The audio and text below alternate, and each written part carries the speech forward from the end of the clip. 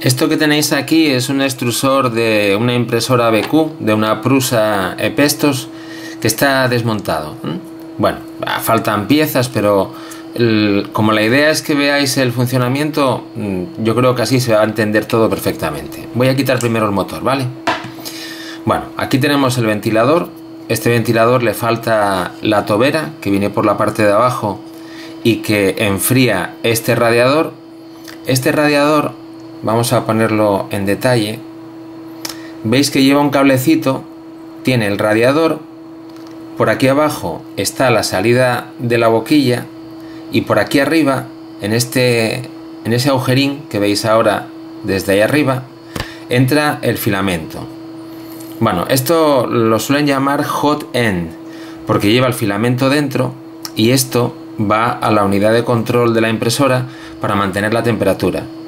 El ventilador obviamente está para refrigerar todo esto y mantenerlo a una temperatura constante. ¿eh? Entonces no tiene mucha más historia. Esta pieza se calienta externamente el tubo, que es la boquilla, admite por la parte de arriba el filamento, el filamento se funde en la parte de abajo, eso se nota cuando tienes un atasco, cuando se atasca notas en qué parte es donde deja, donde se empieza a fundir y en qué parte no. Y una vez que está fundido, como el motor va empujando hacia abajo del filamento, pues por aquí, por este agujerito, que esto es una boquilla, eh, a ver si la cámara saca el agujerín con el macro, de 0,4 milímetros, pues puedes extruir 0,4 eh, o menos eh, tamaño, según como escojas el, programa de impresión. Pues puedes extruir a 0,1, a 0,15, a 0,05, bueno, al, tamaño de capa que tú quieras. Bueno, aquí van el de calentamiento y el, el de control, porque el sistema de control de temperatura está regulado automáticamente. Lleva un, bucle de control y cuando observáis la temperatura en la impresora veréis que hace 199 si imprimís a 200, 200, 201, 199, bueno, pues porque tiene un PID, un regulador, bueno, un PI, un regulador proporcional integral que lo que va es midiendo el error respecto de lo que seleccionasteis con la ruedecita y manteniéndolo ahí constante. Vamos a ver ahora el mecanismo de carga. Veis que aquí hay un muellecito. Bueno, este es el típico muelle que cuando tienes el extrusor montado en la impresora, apretando para aquí arriba, te ayuda a liberar el filamento. El filamento entra por este orificio. Aquí hay, en esta pared, que a ver si lo acercándolo se ve, aquí hay un cojinete. ¿Eh? A ver, más de cerca, ¿veis que hay un cojinete que está un poquitín manchado de negro? Bueno, pues esto es un cojinete chiquitín, ese que está metido dentro. Y ese cojinete emboca en la entrada de la boquilla. Bueno, diréis, ¿y cómo, cómo hago la tracción del, filamento? Bueno, pues para eso tengo el motor paso a paso, que ya, ya os comenté en su momento, que tiene esta corona, ¿eh? veis que va pasito a pasito, tiki tiki tiki. Bueno, tiene ¿eh? que enfoque esta corona eh, que está moleteada o dentada de manera que el filamento que es cilíndrico pues queda más o menos insertado ahí. Entonces este motor está, va montado, a ver si lo consigo encajar más o menos bien para que lo veáis. Ahí está, va encajado ahí. Ahora me hace un poco de sombra. Bueno, veis cómo va todo el invento, ¿no? Eh, lástima que no tengo filamento aquí para que lo vierais. Eh, fue un error el no haberlo traído.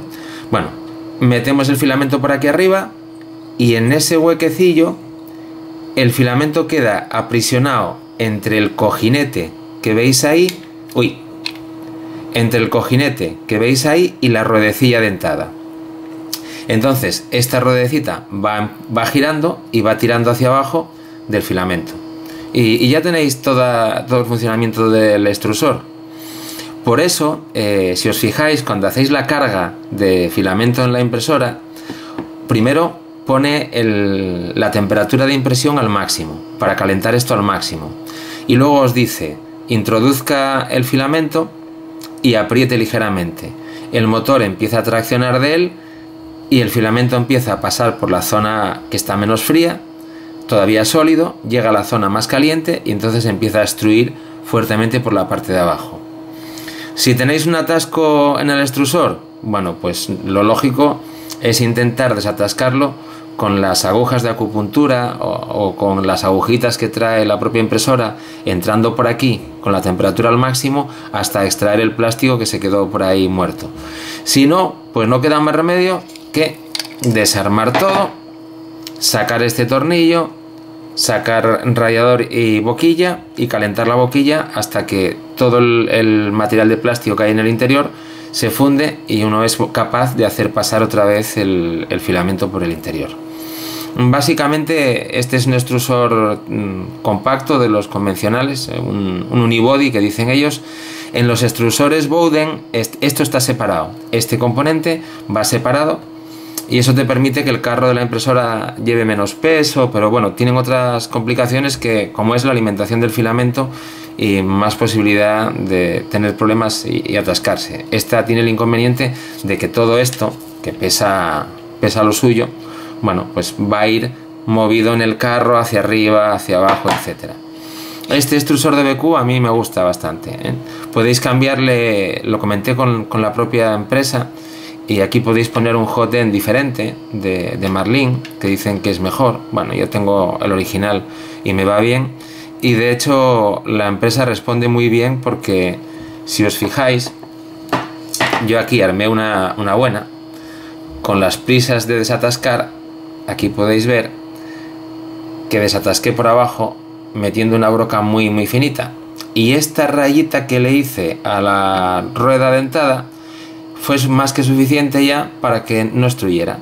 Entonces nada, si te pasa eso te pones en contacto con ellos y la verdad es que te venden esta pieza suelta. No tienes que comprar todo el extrusor. Yo compré uno para tener de recambio pero esta ruedecita te la venden separada que vale 10 euros o por ahí. Y bueno, nada, esto es todo. El extrusor no tiene tampoco historia. Aquí tenéis el cable del ventilador, el de control de la temperatura y el del calentamiento. Está todo ahí compacto.